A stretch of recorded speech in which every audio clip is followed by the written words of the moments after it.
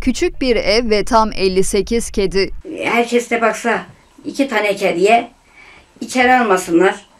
Zaten beni dışlıyorlar hayvan baktığım için. Bir kap su, arta yemeklerini bıraksınlar kapının önüne başka bir şey etmesinler. Bu hayvanlar zaten bir sonraki bir istedikleri bir şey yok. Elazığ'ın tarihi Harput mahallesinde yaşayan Nuriye Yücesoy, kış günlerinde dışarıda üşümesinler diye sokak kedilerine evini açtı. Ben vicdanımdan, merhametimden baktım. Zaten hayvan sevgisi içimde var. Hayvan sevmeyen insan sevmez. Hayvanlara merhamet etmezsen insana hiç merhamet etmez. Hayvanlara baksınlar, kucak açsınlar. Herkes de baksın. Yani görmemezlikten gelmesinler. Bunların da bir canı var. Bunlar da bir kalp taşıyor. Hepsi canlı.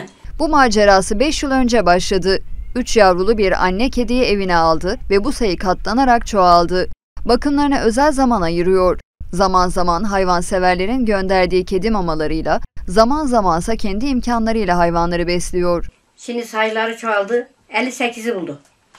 58 tane kediye bakmak kolay değil. Zaten ben de yaşlandım.